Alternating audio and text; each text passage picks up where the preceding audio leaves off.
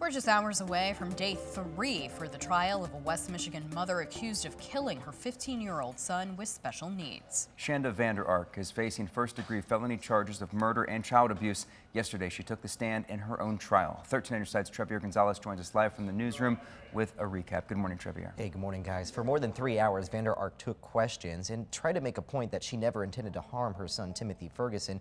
But the prosecution really worked to break through that argument and continued to point out that her alleged abusive actions just didn't make sense. Ark's attorney tried to present her client as a hardworking and educated mother who was doing her best as a parent, but the chief prosecutor continually asked questions on how she would treat Timothy, especially in comparison to her other children. Factors that were brought up included the security cameras that were all throughout the house and locks on the refrigerator and pantry so that Timothy couldn't sneak food in despite the fact that he was severely malnourished. Here's what the chief attorney had to say. He was extremely sneaky. Did it ever occur to you that this is not the way to deal with a person who's been on a hunger strike? Locking up their food, locking up their access to food, punishing them when they, when they try to take food? Did, did, did that ever occur to you with your, your brilliant legal mind, as it was, that that wasn't a good idea? I don't know. I don't know what I was thinking.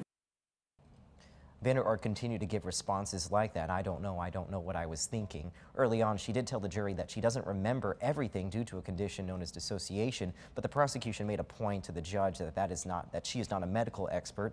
So the prosecution then ended their line of questioning by stating that to Vander Ark, Timothy Ferguson wasn't even a human being in her eyes anymore. She responded by saying that that is absolutely not true. My understanding is that Vander Ark has not yet been excused from the stand. That's because the jury will have questions for the defendant. It's then very possible that the jury will then head to deliberations shortly after. Live in the newsroom, Trevier Gonzalez, 13 on your side. All right, Trevier, thank you. The judge ordered a recess yesterday after Vander Ark appeared to vomit during her testimony after the prosecution showed her a photo of her son, Timothy, taken hours before he died. You can watch today's hearing live on 13 on your side.